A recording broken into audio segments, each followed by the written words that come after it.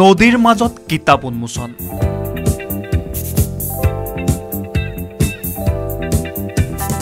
কিতাপ উন্মোচনৰ ব্যতিক্ৰমী প্ৰয়াস। পাঁচখনকৈ গ্ৰন্থ উন্মোচন চলন্ত জাহাজত প্ৰথমবাৰৰ বাবে চলন্ত ৰপেক্স জাহাজত যাত্ৰীৰ দ্বাৰা উন্মোচন কৰা হয় নম্ৰতা দেৱী আৰু লক্ষ্মীমা ফুকনৰ পাঁচখনকৈ গ্ৰন্থ। নিমাতী ঘাটৰ পৰা অফলামুখ ঘাটলৈ চলা ৰপেক্সত যাত্ৰীয়ে উন্মোচন কৰিলে গ্ৰন্থকেইখন। সঁচাকৈয়ে আজিৰ দিনটোৰ যি অভিজ্ঞতা এক অনন্য অভিজ্ঞতাৰ আমি সকলো অধিকাৰী হৈছোঁ যিহেতু গ্ৰন্থ প্ৰকাশ কৰিছোঁ আগতেও আমি নিৰ্দিষ্ট পৰিসৰৰ ভিতৰত আৰু এটা বেলেগ পৰিৱেশত গ্ৰন্থ প্ৰকাশ হৈছিলে। কিন্তু আজিৰ নিচিনাকৈ এখন জাহাজত আৰু হঠাতে তাৰে মাজৰে যাত্ৰীক এজন উন্মোচক হিচাপে লৈ আমি একেবাৰে অচিনাকি ভাৱত ধুনীয়াকৈ গোটেই বস্তুখিনি সজাই পৰাই এটা যি অভিজ্ঞতা ল'লোঁ সেইটো সঁচাকৈ এটা খুব সকলোৰে কাৰণে এটা খুব অনন্য অভিজ্ঞতা হ'ব বুলি ভাবিছোঁ।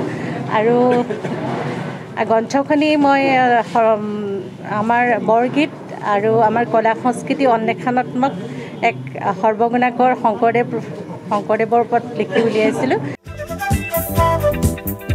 ৰপেক্সখনত যাত্ৰী হিচাপে থকা মাজুলীৰ শ্ৰী শ্ৰী উত্তৰ কমলাবাৰী সত্ৰৰ বৈষ্ণৱ পবিত্ৰ শইকীয়া এজন সাধাৰণ যাত্ৰী আৰু জল পৰিবহণ বিভাগৰ অভিযন্তা ৰাতুল তামুলীয়ে বন্তি প্ৰজ্বলন কৰি গ্ৰন্থকেইখন উন্মোচন কৰে। যিহেতু মোৰ গ্ৰন্থখন মাজুলী অতীত বৰ্তমান আৰু ভৱিষ্যত গ্ৰন্থখনি ওঠৰ চনত প্ৰথম সংস্কৰণটো আৰম্ভ হৈ গ'ল ইতিমধ্যে এইবাৰ দ্বিতীয় সংস্কৰণটো কৰা হৈছে। দ্বিতীয় সংস্কৰণ মানে প্ৰথমখনতকৈ অলপ ব্যতিক্ৰম হৈছে।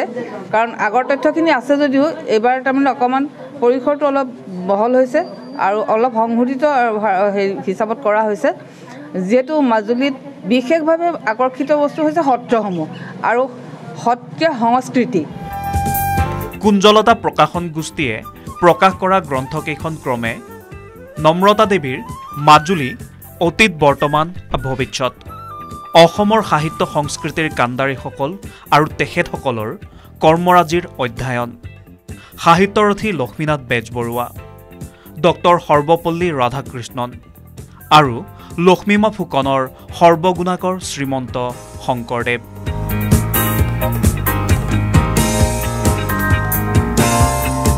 মাজুলীৰ পৰা ভাস্কৰ জ্যোতি কটকীৰ ৰিপৰ্ট লোকেল এইটিন